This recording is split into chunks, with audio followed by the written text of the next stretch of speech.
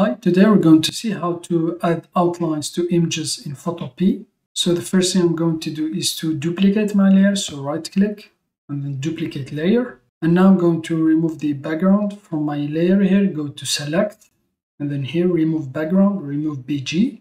Now I will need to watch an ad. Press OK.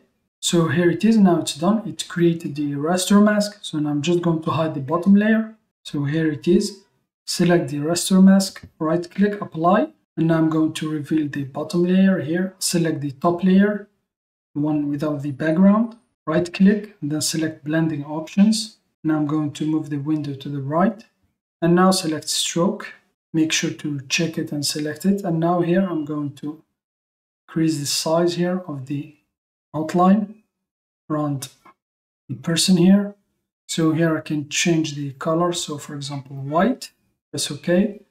You can either use a color, a gradient, like this, it's black and white, or a pattern.